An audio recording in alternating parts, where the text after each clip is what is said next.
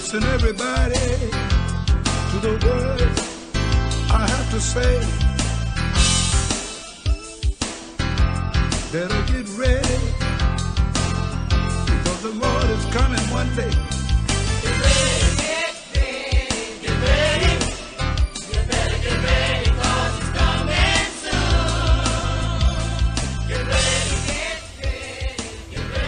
Thank you for tuning in to the Prophet Daniel's Report.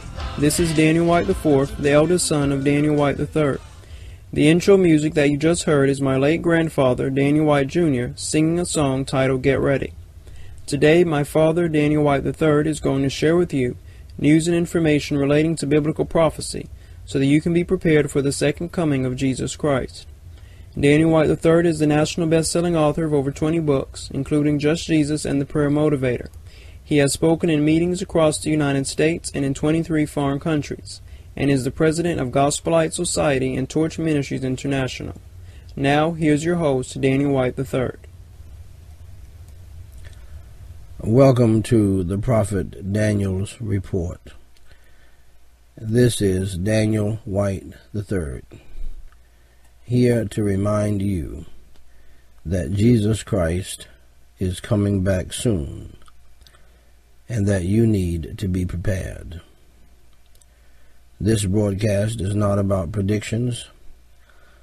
However, it is all about preparation.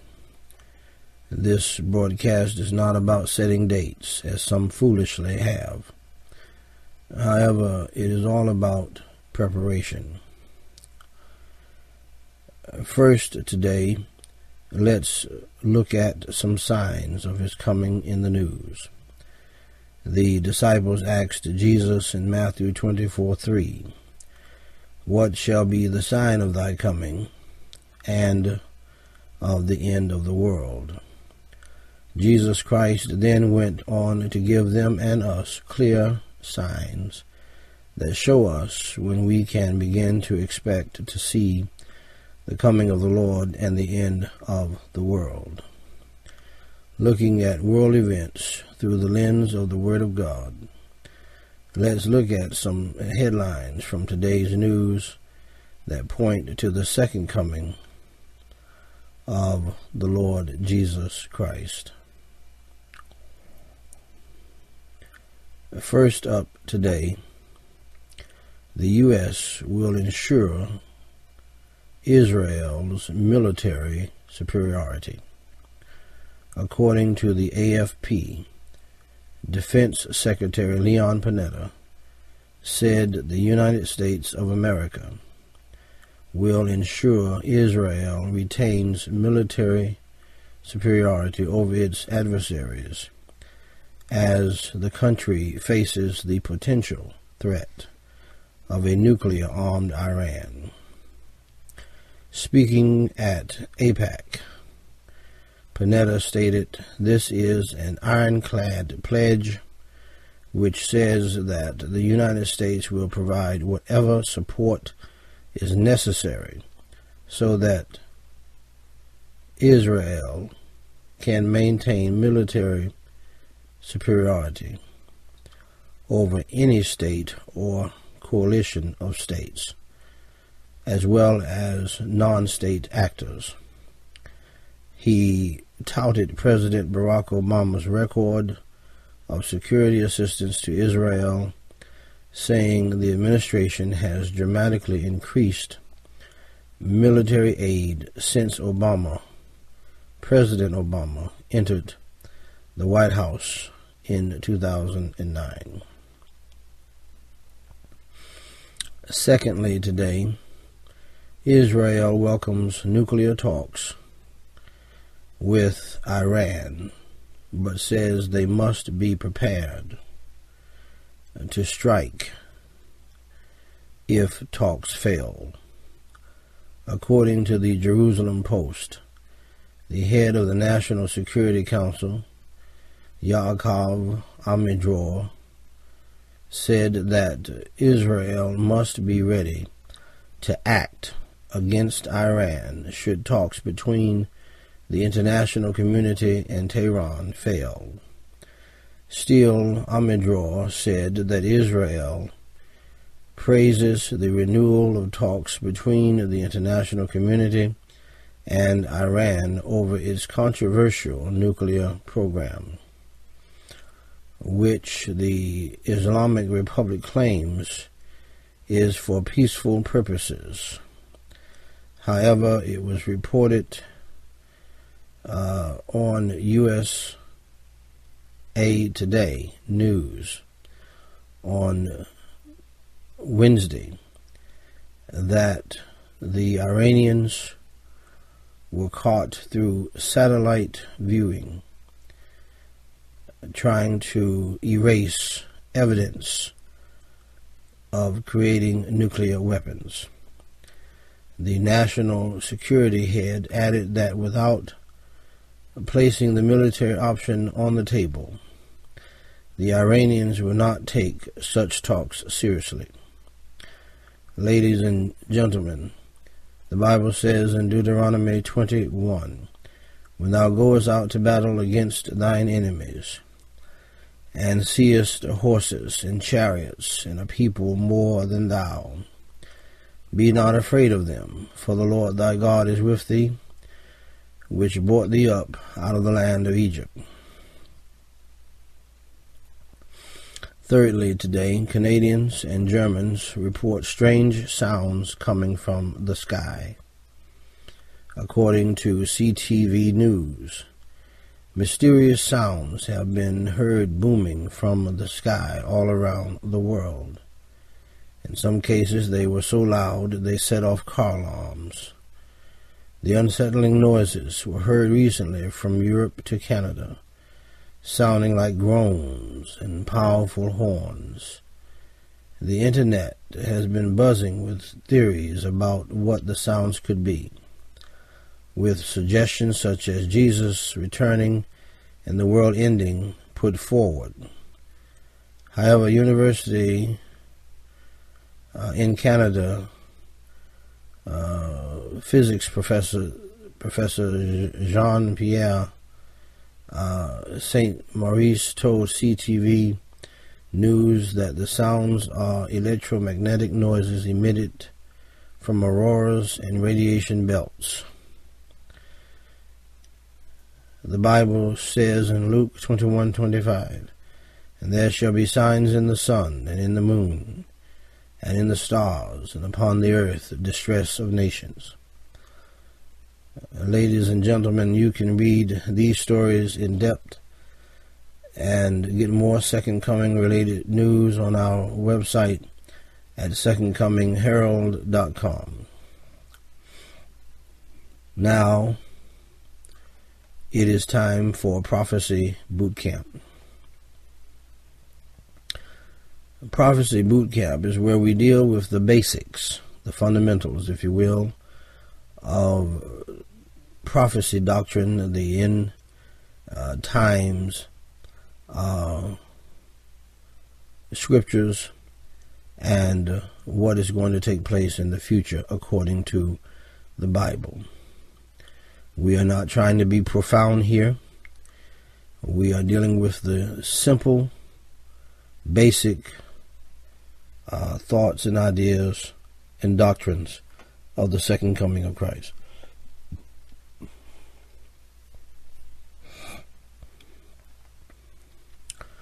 Pardon me. In fact, this broadcast is not for the scholars. This is for folks who want to know what's going on. Our aim here is not to make predictions or to set dates, but to help you get prepared by understanding how things will unfold in the end times. Today we are at part 7 of our series titled The Church and the tribulation from John MacArthur's book, The Second Coming of the Lord Jesus Christ. Our subject for today is titled The Betrothal of the Church. MacArthur writes the following on this subject. The meaning of Ephesians 5:22 through 32 is another reason why The church in its distinction cannot be Israel. And if we aren't Israel, then we don't have to stick around for the time when God works with Israel. Amen. The church is presented as a chaste bride. Let's look at Ephesians 5 and verses 22 and 23. Paul says, Wives, submit yourselves unto your own husbands as unto the Lord. For the husband is the head of the wife, even as Christ is the head of the church, and he is the Savior of the body. Now go to verse 25 through 27. Husbands, love your wives, even as Christ also loved the church, and gave himself for it, that he might sanctify and cleanse it with the washing of water by the word, that he might present it to himself a glorious church, not having spot or wrinkle or any such thing, but that it should be holy and without blemish. In 2 Corinthians chapter 11 verse 2, Paul says, For I am jealous over you with godly jealousy, for I have espoused you to one husband, that I may present you as a chaste virgin to Christ. The plan for the church is that when the church is presented to Christ at the rapture, it will be absolutely chaste, pure, and undefiled. Going back to Ephesians 5, Paul says in verse 32, This is a great mystery, but I speak concerning Christ and the church. You say, What's the mystery? Is the figure of marriage the mystery? No, that wouldn't be the mystery because the marriage figure was in the Old Testament. That is not a mystery. However, the Old Testament, rather, however, in the Old Testament, the figure wasn't of a chaste virgin, it was of an adulterous wife. Israel was pictured as an adulterous wife. In the Old Testament, Israel is pictured as the wife of Jehovah. The whole book of Hosea is devoted to a historical allegory of the relationship between God and Israel. Now, Israel is seen as God's wife. But what kind of wife is she? She is adulterous and untrue, a harlot. And the harlot is promised that she will be restored in the kingdom. So Israel is a wife, but a harlot. The church is a bride and a virgin. There's a difference. They cannot be the same. Things that are different cannot be the same. The mystery, the new thing, is the church as a chaste virgin presented to Christ, sanctified, without spot or blemish, clean and pure. That can't be Israel. That, rather, can't be Israel. Israel was an adulterous wife fooling around with other gods, committing spiritual adultery, and they don't get restored until the trouble of the tribulation. So don't confuse the chaste virgin presented to Christ with Israel, an adulterous harlot and unfaithful to God. Wow, that's powerful stuff. I hope that gives you a of understanding about how there is a difference between the church and Israel, and that the church will not be going through the rapture. So you need to get ready to get up out of here. In closing, let's consider what God wants you and I to do in light of His second coming. Ladies and gentlemen, God wants us to engage successfully in spiritual warfare in the last days. He wants us to occupy until he comes. In light of that, our topic for today is titled How to Fight the Lust of the Flesh. According to endtimespreparation.com, spiritual warfare against the lust of the flesh takes place in the mind and heart. This battle takes place in the mind and heart because it is not the things themselves that defile a man. It is the heart that defiles a man. A man's heart is corrupt, therefore he corrupts himself. Jesus Christ said in Matthew 15, 18, and 20, or Matthew 15, 18 through 20, those things which proceed out of the mouth come forth from the heart, and they defile the man. For out of the heart proceed evil thoughts, murders, adulteries, fornications, thefts, false witness, blasphemies. These are the things which defile a man. Man is not made unclean by things. He is unclean because of his polluted heart, his polluted and corrupted inner man. The real spiritual warfare takes place in the heart and mind. Satan and his demons are simply not able to violate the free will of a true believer. While the devil will provide a strong temptation, it is ultimately the man who makes the choice in his mind to do evil. The flesh, the enticements of the world, and their impact on our thinking and desires make up a major part of our spiritual warfare. The battle against the lust of the flesh must be won, ladies and gentlemen, in the mind. Let us pray. Holy Father God, we pray in the holy name of the Lord Jesus Christ. Lord, we thank you for what our hearts have heard, our ears have heard, and our hearts have felt. And uh, Lord, thank you for speaking to our souls. Thank you for the uh, presence and the power of your Holy Spirit. Lord, help us to truly get prepared for your second coming. Help us, Lord, to pray, to seek your face, to humble ourselves, and to turn from our wicked ways. As your children, create within us a pure heart and a pure mind, a pure soul and spirit. Help us not to continue in the old patterns of life of doing things. Lord, help us to turn away from all ungodliness, save our souls, and change our lives. In Jesus Christ, the holy name we do pray, and for his sake. Amen. Now, dear friend, if you're listening today and God has spoken to your heart and has spoken to your heart about getting saved from hell and getting prepared to go back with the Lord Jesus Christ, please understand that the Bible tells you very simply how to be saved from hell and how that you can go back with the Lord when he comes back.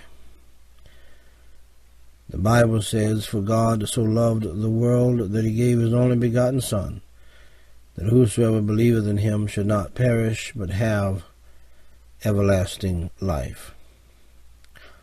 Romans 10 9 and 13 says that if thou shalt confess with thy mouth the Lord Jesus, and shalt believe in thine heart that God hath raised him from the dead, thou, you shalt be saved. For whosoever shall call upon the name of the Lord shall be saved. Now, friend of mine, if you're willing to believe on the Lord Jesus Christ as your Savior today, if you're willing to receive Him into your heart to save your soul, I guarantee you that He will save you. Please pray with me the following prayer.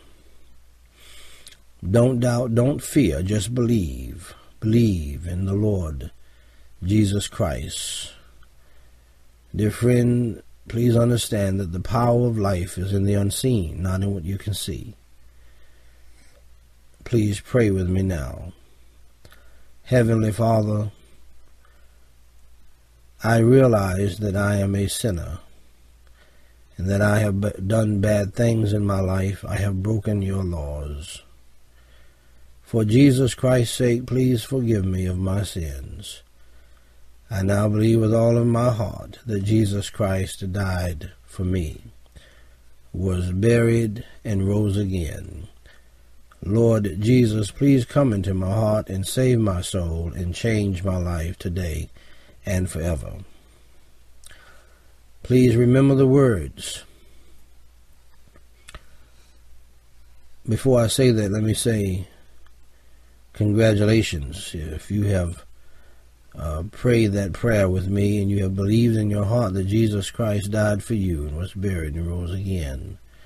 I want to be the first to say congratulations on trusting Christ as your Savior. He will never let you down.